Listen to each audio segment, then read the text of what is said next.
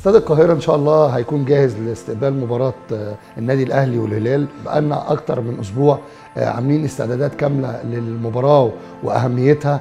آه، أرضية الملعب طبعا يعني إحنا بقالنا 3 4 أيام مركزين جامد جدا عشان تطلع بمظهر يليق بالكرة المصرية. جميع مداخل ومخارج الاستاد من إضاءات من نظافة من بوابات إلكترونية آه، تم تجهيز وتم استعداد لأن إحنا بقى لنا فترة كبيرة جدا آه، ال- الجمهور كان غايب عن استاد القاهرة. إحنا إن شاء الله ستارت أربعة استاد يكون- هيكون جاهز كل البوابات مفتوحة إن شاء الله. والغلق إن شاء الله حسب التوجيهات الأمنية إن لما الساعة الأساسية للاستاد هتكون مغلقة أو تمت هيقفلوا.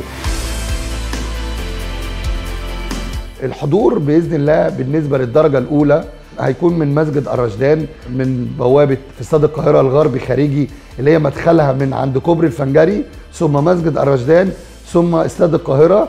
دي هتكون مخصصة لجمهور الدرجة الأولى المقصورة الأمامية آه، مقصورة ال VIP آه، بالنسبة للدرجة الثانية إن شاء الله هيكون دخولها من عند الأوتوستراد مدرسة الموهوبين آه، المنصة إلى الاستاد الإبلي اللي المدرجات الدرجة الثالثة يمين.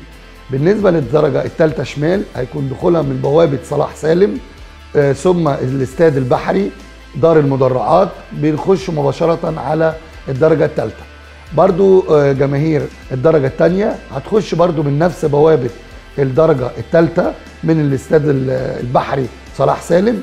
فالجمهورين الثانية والثالثة هيخشوا من بوابة صلاح سالم آه، البوابة الرئيسية اللي هي البحري هتتوجه من جوه على كل درجة إن شاء الله.